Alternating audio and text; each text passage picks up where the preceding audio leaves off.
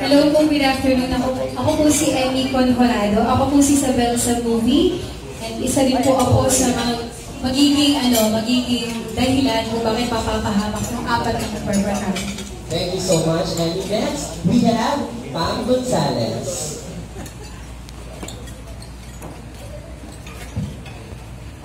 Go pa. Eh, si Pam po ay napanood na po natin sa pelikula Quaresma with uh, Sharon Cuneta.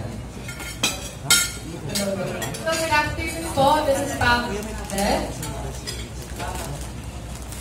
So, I play the character of Ara. Si Ara po yung dahilan kung bakit napunta yung magpaparkada sa lungga ng mga aswang. So, yun po. Thank you so much, Pam. Next, we have Kian Johnson.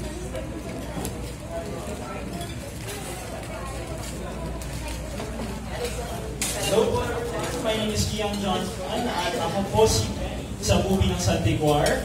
Um, ako po isa sa mga alay dito po sa movie. Maraming thank you so much. Kian, next we have Marco Gallo.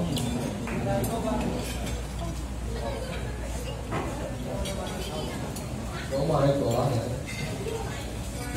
Ah, hello po, ako po si Marco Gallo, pe, ah, pero sa pelikula na ito, ang pangalan ko po ay Carlo.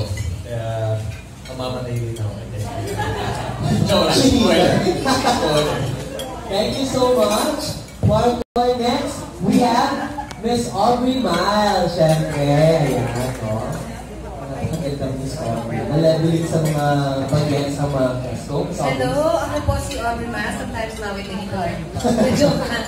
Ako po si Ines dito sa Santig Bar at ako po yung isa sa mga umiiwas sa Santig Bar dahil ako po yung magandang aswang. Aswang!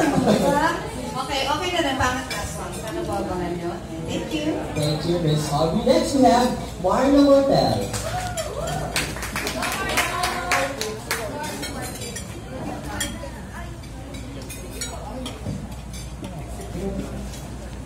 Magandang magandang hapon natin lahat. Ako po si Marlo.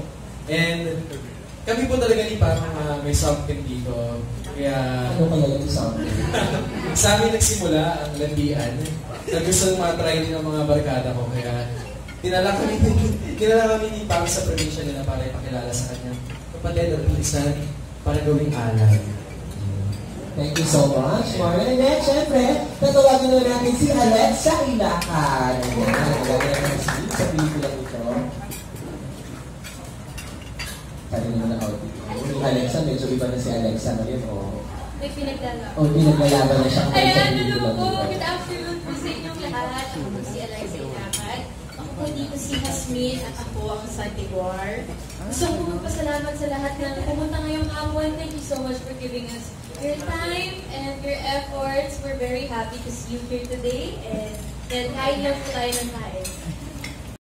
Ayan, maraming maraming salamat.